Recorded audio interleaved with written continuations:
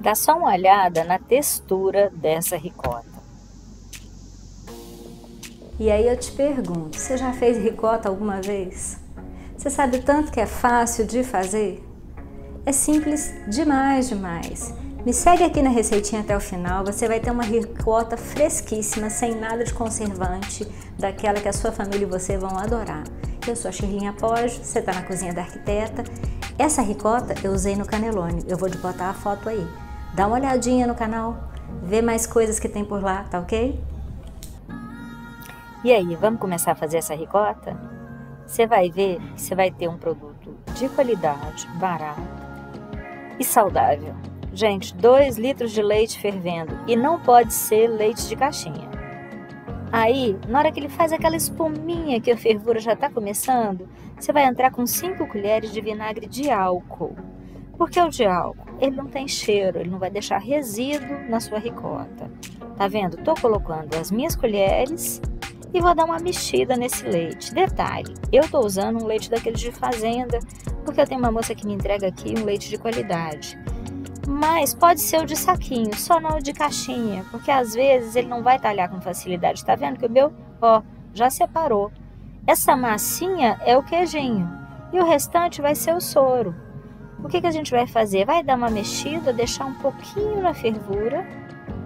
Aí, ó que beleza, gente. Tem coisa, tem coisa mais fácil que isso? O bacana é o seguinte, é natural. Conservante zero, saúde para você e para sua família, não é? Agora que eu faço, eu desligo o fogo e vou deixar ele uns minutinhos ali tampadinho. Olha, deixei uns 10 minutos ainda quietinho. Você vai ver que ela ajuda a separar mais a massa do soro. Olha, tá vendo? Tá bem separadinho.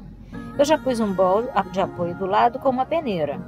E agora eu vou coar isso aí.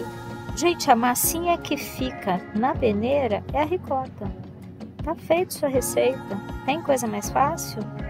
O detalhe é, a gente tem que deixar ele dessorar por inteiro. Ou seja, você vai vou pegar uma colherzinha agora e vou ajudar esse soro a dar uma saída. Olha lá, vamos dar uma mexida e deixa ela descansar sobre a peneira um bom tempo, até que você vê que todo o soro foi eliminado. É uma ricota fresquíssima, assim, super saborosa. Eu não vou botar na forma hoje porque eu vou usar para rechear o canelone. Inclusive, vou fazer duas receitas dessa. Mas se você quiser aquele formatinho redondo, ou usa um aro redondinho e aperta bem, ou pega uma vasilhinha redonda, coloca um filme plástico passando as bordas, enche lá e depois desenforma, que você vai ter a ricotinha super saudável. Olha a textura que beleza! Fresquíssima. Eu não gosto de pôr sal, eu prefiro pôr sal na receita. Então, mais uma receitinha, você está na cozinha da arquiteta, eu sou a Shirlinha e vou te mostrar a foto do canelone que eu recheei com essa ricota. Até a próxima receita!